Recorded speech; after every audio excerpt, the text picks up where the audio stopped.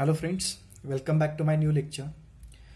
Today we are going to discuss about first law of thermodynamics applied for flow process. So whenever there is a flow process, what is the first law of thermodynamic? Generally derivation of this is asked many times in the exam or we can uh, this particular derivation can be named by other way like steady flow energy equation. This is what called as steady flow energy equation. Or in short form it is called as SFEE SFEE means what? Steady flow energy equation. So today we are going to derive the equation for steady flow energy equation. And this equation is specifically applied for what? Is the flow process. Now what is in a flow process here we have shown a flow process. What is this flow process? Let's understand. The flow process is process in which the fluid is flowing. Fluid is not constant. Fluid is not a constant. Means what? Some fluid is coming inside here and some fluid is going outside. So this is inlet. This is inlet and this is what? Outlet. So fluid is coming inside and fluid is going outside. The fluid comes inside does some process and we will get work output. So here we are getting mechanical energy as output. This fluid may be anything, maybe a water, maybe a steam, maybe anything. Okay, so the fluid comes here, does some work and goes out. So that work, what we are having, that work will be at the outlet. With this, let's understand what are the other terms given. The inlet, the height of inlet pipeline is shown by Z1. So height of inlet pipeline is Z1 height of outlet pipeline is Z2. Height of outlet pipeline is what? Z2 from the datum. So this we have considered as a datum line. This is baseline. This I can say a datum line. Okay, or baseline. Right, from that Z1 is height for inlet, Z2 is height for outlet. This dotted line shows a control volume or we say it's system. Control volume or system. Okay, so fluid is entering here in a control volume and fluid is going out from here from the control volume. Okay, so for this particular system, I am going to derive what is the steady flow energy equation or the first law of thermodynamic applied for applied for what the flow process. Now in this case, now in this case, let's understand some of the notation what we are going to use it. So here first notation I have given as m1 is equal to m2 is equal to m. Mass flow rate at inlet and outlet. So inlet that we are going to denote by suffix 1 whereas outlet we are going to denote by suffix 2 so here you can see that here I written at the inlet there is a 1 at the outlet there is a 2 so whatever parameter at inlet is there that will be by the suffix 1 whatever parameter at 2 that will be by the suffix 2 so mass flow rate at inlet and mass flow rate at outlet. So according to law of conservation of mass mass at inlet and mass at outlet will be the same. So we have written here m1 is equal to m2 is equal to m. Okay. So this is what mass flow rate at inlet and outlet. After that if you check the next term that is vs1 vs2 and that's a small v this is what small v. So small vs1 small vs2 it is a specific volume at inlet and outlet. What is specific volume specific quantities? We are knowing what is specific quantity. Specific quantities are quantity per unit mass. So this is volume per unit mass and that's why unit comes to be meter cube per kg. Here the unit is what? Meter cube per kg. Vs1 specific volume at inlet.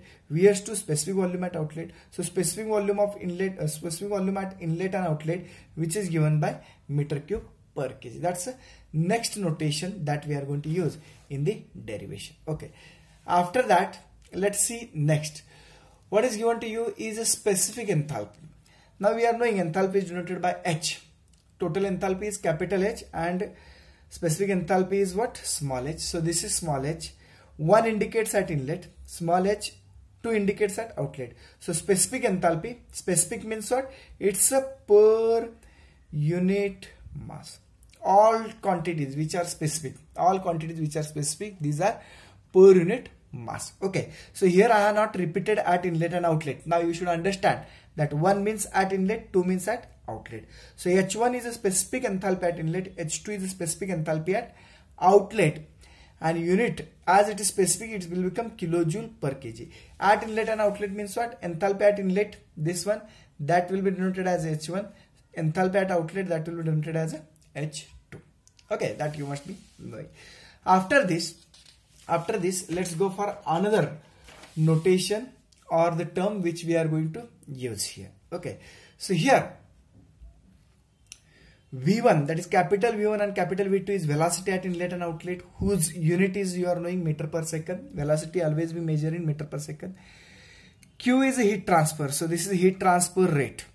Q is what? Heat transfer rate. And heat transfer rate is measured in kilojoule per second. Heat transfer rate is measured in kilojoule per second. This is capital W. Capital W is work transfer. And work transfer is again measured in kilojoule per second. So capital Q has unit kilojoule per second whereas capital W also has unit kilojoule per second. Okay. Now small q. Already we are knowing capital Q. Now small q. What is small q? Specific heat transfer. This is a heat transfer and this is specific heat transfer. When I say specific heat transfer, when I say specific heat transfer that will be per unit mass. So total heat transfer divided by mass or heat transfer rate divided by mass will give you small q that is specific heat. And unit of this unit of this q is nothing but what? kilojoule per second. Unit of mass is kg per second. So kilojoule per second divided by kg per second. Second second get cancelled and what we will get? kilojoule per kg. What we will get is kilojoule per kg. That's the unit of specific heat. Similarly similarly i can write specific work. What is specific work? Specific work transfer is nothing but capital W by small small m that is work transfer per unit mass. Once again unit of this W is what kilojoule per second mass is what kg per second. So second second will get cancelled and what will get unit for small w is kilojoule per second. Small w is kilojoule per second. And after that the height already we have seen Z1 and Z2. Z1 is height at inlet, Z2 is height at outlet. So height from bottom and that's unit as uh, that is measured as m. So we have seen various notation required. First of all, we have seen mass M1, M2, mass at inlet, mass at outlet. VS1, VS2 specific volume at inlet and outlet. H1, H2 specific enthalpy at inlet and outlet. Then we have seen V1, V2 the velocity of fluid at inlet and outlet. Q is heat transfer rate that is kilojoule per second. W is work transfer rate, kilojoule per second. Small q is specific heat and specific heat is per unit mass. So that's why kilojoule per kg. Small w, this is small w. You should understand difference between small w and capital W. Okay. So small w is a specific work transfer which will be per unit mass having unit as kilojoule per kg. Z1 and Z2 are the height from the datum. With knowing all this term, with knowing all this term, let's derive the steady flow energy equation. Now for deriving steady flow energy equation, for deriving a steady flow energy equation, what we have to do? We have to consider energy balance equation. We have to consider energy balance equation. What says energy balance equation? The energy balance equation says that energy at inlet is equal to energy at outlet. Energy balance equation according to according to energy balance equation energy balance equation.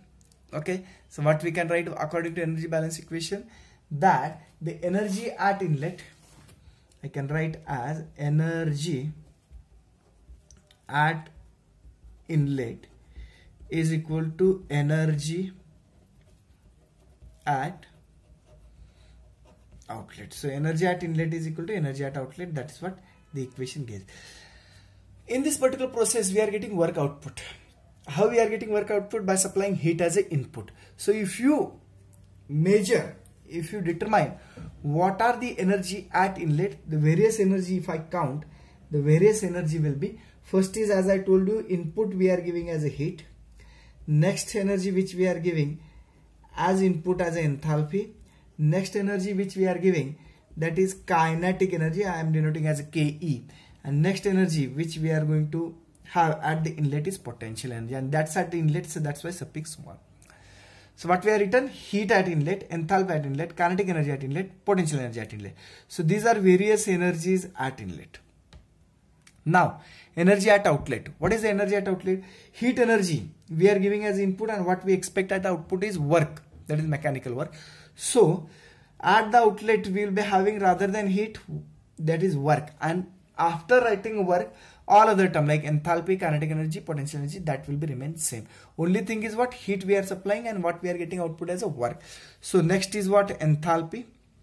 Let's write enthalpy plus plus I will write on downside. Enthalpy then kinetic energy then potential energy. This is at outlet so suffix 2 heat enthalpy kinetic energy potential energy at inlet work enthalpy kinetic energy potential energy at outlet. That's what equation we have got. Now let's put the symbols for this heat that we know that's measured in q. Q has a unit. What q has unit? That is heat transfer has unit as kilojoule per second. Now enthalpy how i am going to write? Enthalpy at inlet is h1 but that enthalpy is a specific enthalpy. Unit of this is kilojoule per second and unit of this if you consider unit of h1 if you are knowing the unit of h1 is what? Unit of h1 is kilojoule per kg. Kilojoule per kg. Let me let me write here for your understanding. Unit of this is what? Kilojoule per second. That's unit. Unit of h1 unit of h1 is kilojoule per kg because it's a specific enthalpy. So one we are written kilojoule per second another kilojoule per kg that is not allowed. What we have to make? We have to make unit of this q and unit of h must be the same so for making unit of h1 as a kilojoule per second what i am going to do i am going to multiply by mass I am going to multiply by mass at inlet that is m1 and m1 and m2 is equal to m so that's why I have written m. Now what is unit of mass? Mass is measured in kg per second. Now this kg and kg will get cancelled. What is remaining is kilojoule per second and this is also kilojoule per second. So we have balance and unit. We have balance and kilojoule per second, kilojoule per second. And that's why I written m h1. So heat we have written, enthalpy have written. Kinetic energy. The kinetic energy we can write from knowledge of your 11 standard or 12 standard that kinetic energy is measured or has a formula as 1 half m v square. 1 half m v square. Okay this is at inlet so that's why it will be v1 1 half m v square. I hope you are knowing this particular formula. So m 1 half m v1 square. What unit of this? What is unit of this? The unit of this will become the mass is measured in kg per second. The unit of velocity is meter per second and this will become square and this will become square. Okay that's what unit here we have to think about unit very carefully. This is given kg per second meter square second square. This this term i can write as like this. Kg meter per second square. What we have done? Kg meter per second square. This is in one bracket. Other bracket what we have written? One meter we have taken here so another meter will be remain here and one second will be remaining here. So you have to understand this kg meter square second second square it was the case. So i have taken kg one meter here another meter here. Divided by second square i have taken and another second is written here. kg meter per second square is nothing but newton. kg meter per second square is nothing but newton. Meter per second. Newton meter per second. What is newton meter? Newton meter is nothing but joule. So it will become joule per second. So what we have got? Final unit of this kinetic energy joule per second. But here it is kilojoule per second. Here it is kilojoule per second. So this also we have to convert into kilojoule per second right? So how to convert kilojoule? Already we are having joule per second. So divide by 1000 Divide by 1000 that will give you kilojoule per second. So we have written q's then we have written enthalpy then we have written kinetic energy then potential energy. Potential energy again from knowledge of uh, physics from 11 10 standard so it is written as mgh rather than h. I will write z1 because height at inlet is z1 again if you determine the unit of this again if you determine the unit of this this will come joule per second. Let me show the joule per second. The unit of this i am going to plot. What is unit of mass? Mass unit is kg per second what is unit of g that is gravitational acceleration acceleration is me measured in meter per second square and z1 is in meter is in meter. These are various units. Okay, so kg per second, meter per second square, meter. Now, this simplify it. So I will write kg meter per second square. Means what? The kg we have written, meter we are written, second square we are written. So kg meter second square we are written. What is written is meter per second. This is this is came same. So kg meter per second square is Newton. This is meter per second, and Newton meter per second is nothing but joule per second. So we got a joule per second once again. So we don't want joule per second, we want kilojoule per second. So divide by 1000. So to the joule, if I divide by 1000, so it will become kilojoule. It will become kilojoule. So this we have written for left side. This we have written for left side that is energy at inlet. What is energy at outlet? Energy at outlet is work. Work is W whose unit is kilojoule per second that we have already we have seen then enthalpy at outlet, same thing. Enthalpy at inlet is uh, written as MH1. Now enthalpy at outlet is what? MH2. Again, I'm not going in detail of unit. Already we have discussed MH2. Then kinetic energy, kinetic energy at outlet. Kinetic energy at inlet is what? 1 half m v1 square by 1000. Kinetic energy at outlet is 1 half m v2 square by 1000. Only thing is what? The velocity at outlet we have taken it plus plus what the potential energy potential energy is what mg here it was z1 i am writing down z2 because it's at outlet 1000 for what for converting joule into kilojoule. So we have got an equation as left side q plus mh1 plus 1 half m v1 square by 1000 this 1000 is to convert kilojoule. Mg z1 1000 w plus mh2 plus half mv2 square by 1000 here it must be 1000 mgz2 1000 that's what equation we have got it. Now we have to simplify. We have to simplify this particular equation. How to simplify? Let's check. How to simplify let's check it. What we have done is what we have to do is we have to take mass outlet here and mass common outside. So next step i'm writing as like this q as it is q as it is plus m common from remaining term. So if i take m common so here it will be h1 plus simplify this term simplify this term. So m is taken already outside so it will become v1 square divided by now 2 into 1000 so it will become 2000 it will become 2000 plus m has gone outside so gz1 divided by 1000 okay that's what equation we have got is equal to. Same thing we are going to take mass outlet from this one. So w plus mass outlet mass common we are going to take it. So it will be h2 then from this m is already outside so it will become v2 square divided by 2 into 1000 so it will become a 2000 plus. M is already taken outside so it will become g. Z2 divided by 1000 that's right side term. Left side term and right side term we have written it.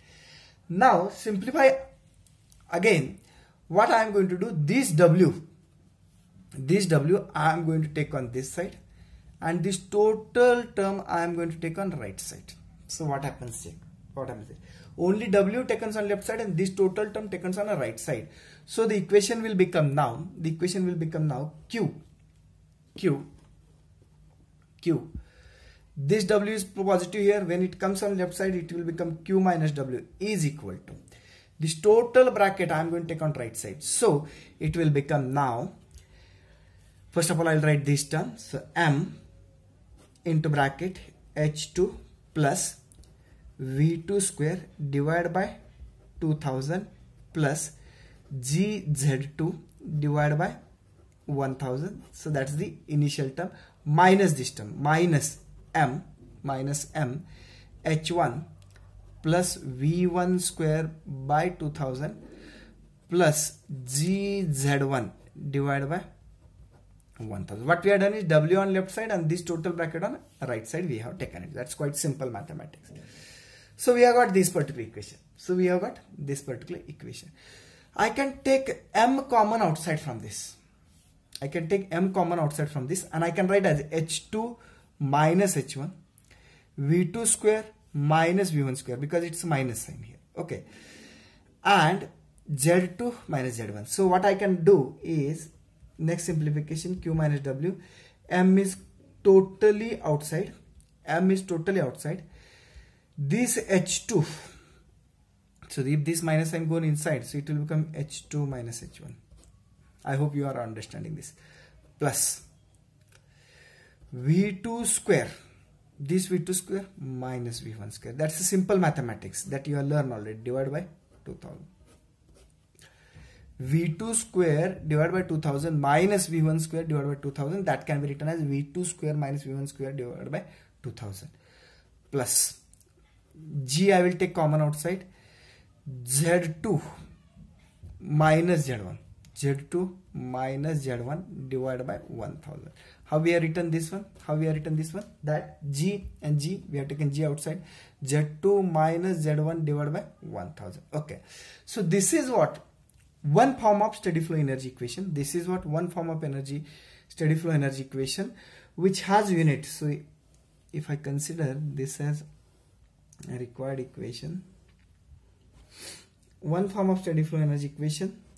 And it has unit. What is unit of q? Unit of q is kilojoule per second kilojoule per second then all are having kilojoule per second. This is the equation in kilojoule per second given to you. But sometime sometime it is derived per unit mass. It is derived per unit mass.